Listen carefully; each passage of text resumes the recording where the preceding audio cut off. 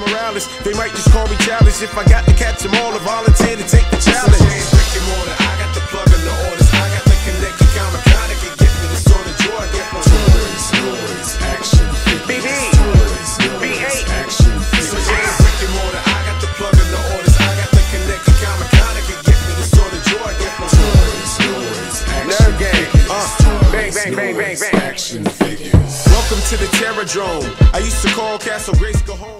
What up, ladies and gentlemen? Welcome to another episode of Toys, Noise, and Action Figures. I'm your host, Regg Henny, and I want to wish everyone out there a happy, happy New Unicron Day. Happy New Unicron Day. It's uh, what's today? The sixth. It's October 6th, so that means that the campaign has officially ended uh, to fan source or crowdfund uh, HasLab's uh, Transformers War for Cybertron Unicron. Um, this is the Unicron that we have been waiting since 1986, since August of 1986 for. Um, we were going to get a Unicron figure uh, back then. They referred to that one as the Grail because they actually made uh, the prototype for it, but never actually put it out. Um, it's been seen at BotCon and uh, different conventions over the years, and uh, it's always referred to again as the Grail. I wouldn't mind if they actually put that one out in limited numbers. I actually uh, brought that up to uh, John and Ben over at Hasbro uh, when they were out here during Comic Con in July. But anyway, we uh, better news for us fans. They actually have uh, put out a Unicron that uh, I, I actually uh, reviewed uh, a couple videos ago um, that you guys were able to check out. A lot of you guys were actually able to check that out along with the music video uh, for the Toys, Noise, and Action Figures channel. But uh, we, we got the figure now. We actually, uh, it was backed. Um, Unicron is the Chaos Bringer, and um, he really brought the chaos uh, with the HasLab's announcement of uh, uh, uh, trying to get 8,000 backers for this project. Um, I've never seen uh, the fans either love or hate um, Transformers news as much as I have with the announcement of uh, Unicron and how they were putting it out and doing the crowdfunding uh, type like they did with uh, Jabba's uh, sail barge.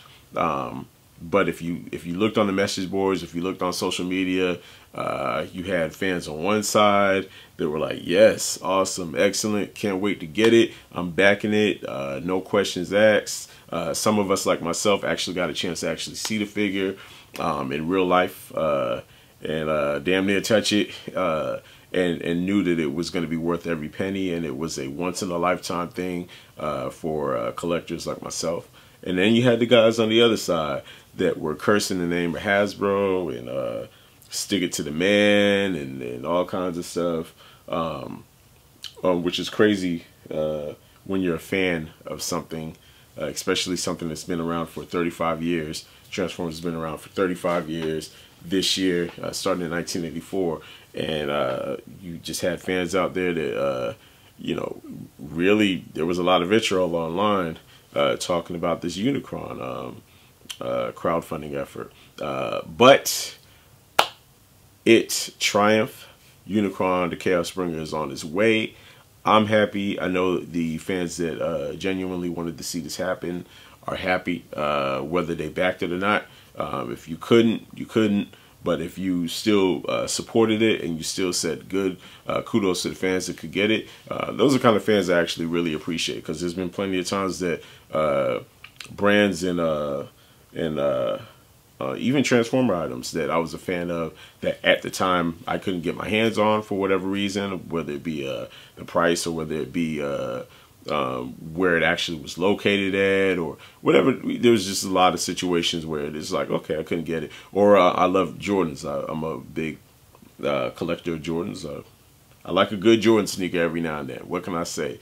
But I was never mad at the people that went out of their way, did what they had to do to get a pair of Jordans. There's a ton of exclusives that I've, I'll never get my hands on when it comes to Jordans, but you know what I'm saying? But I'm happy for those that could get it. I'm happy for the people that, that went out of their way and traveled all the way to this city and went to this exclusive sneaker shop and stood in line or whatever they had to do to go get they they pair of Jordans that they wanted. I was always um, not a hater on that. I'm like, yo, do you? You got those? I'm happy with mine.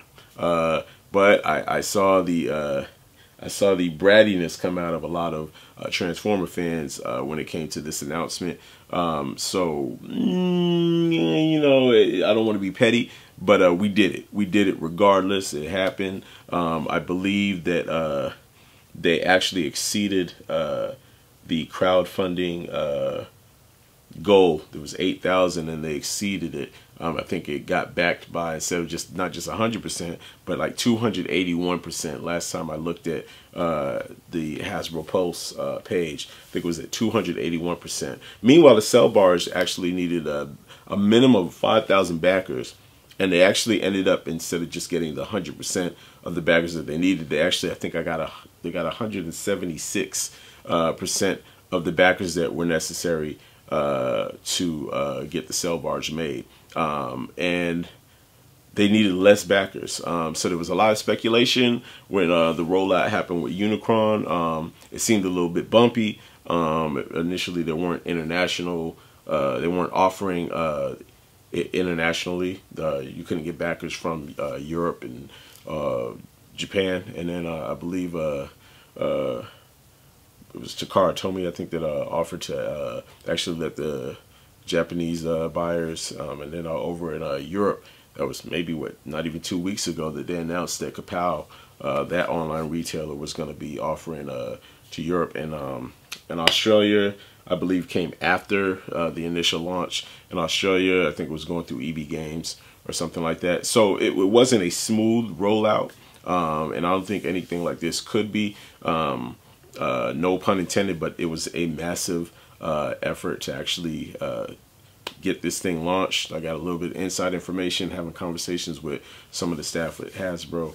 Um, so there were a lot of moving pieces uh, that went into play to make this happen, but it happened nonetheless. Uh, so hats off to uh, people like Ren over at Hasbro, to John Warden, to Ben.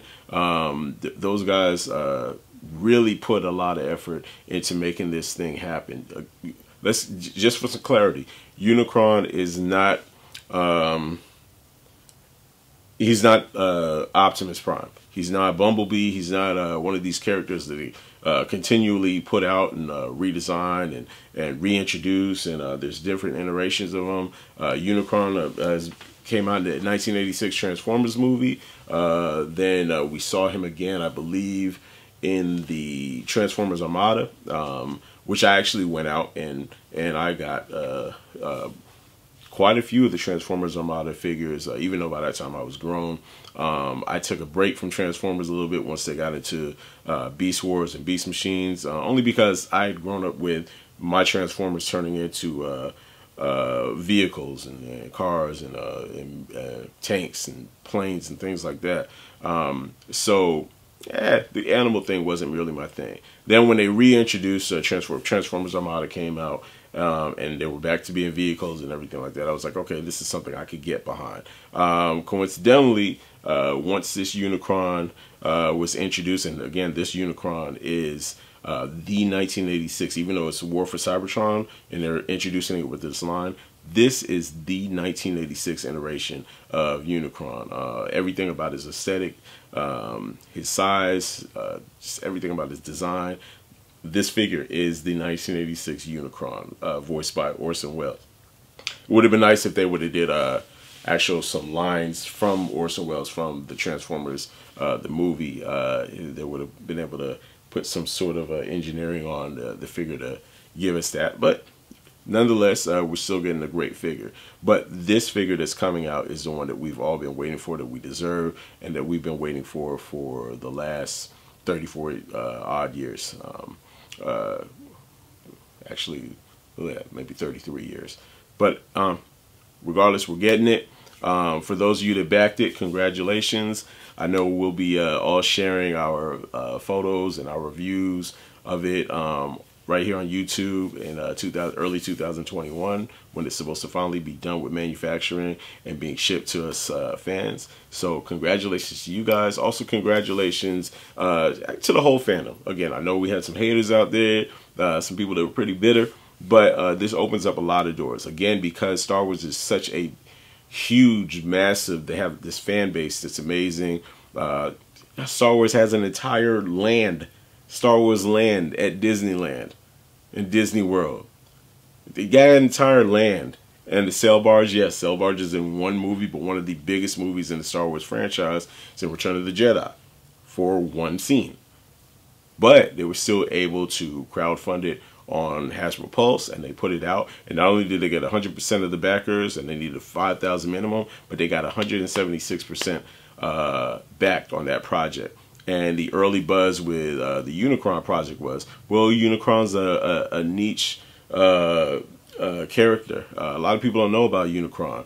Um, Transformers isn't as big as Star Wars is, and um, th- there was some merit to a lot of those arguments. But here's the thing: um, they needed eight thousand backers to make Unicron happen.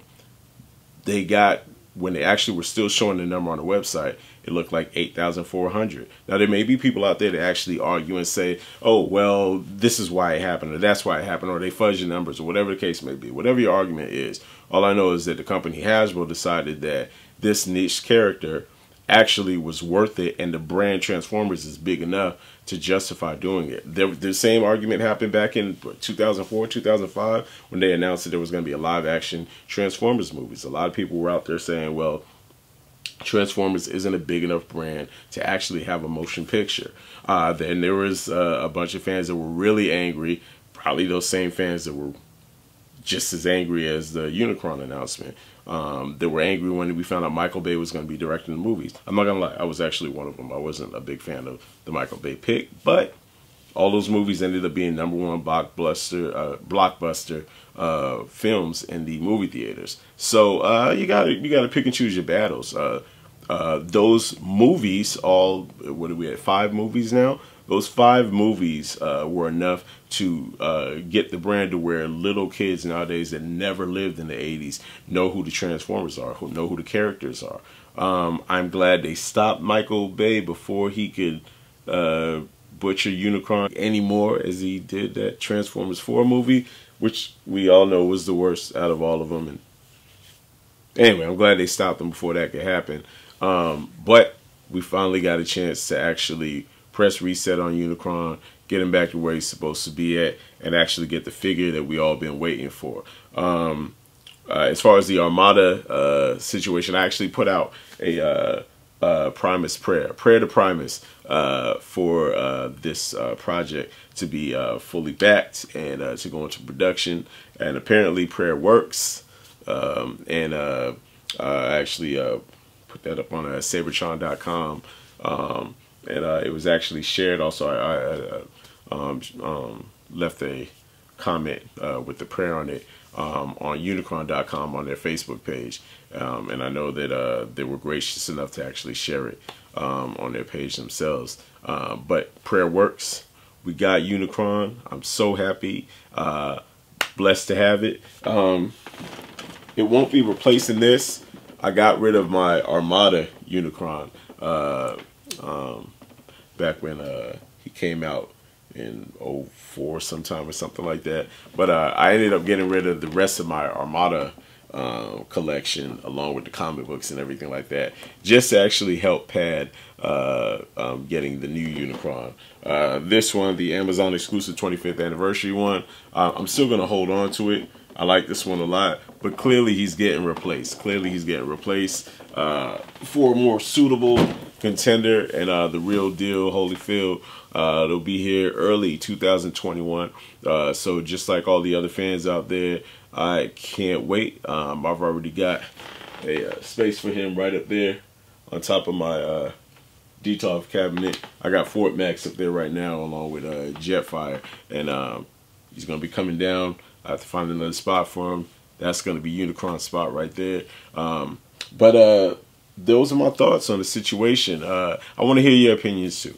Uh, I know that there's some people out there that's still a little uh, feel a kind of way about the way that Hasbro did everything with this. Um, but let's let bygones be bygones and enjoy the moment. Uh, but please comment down below.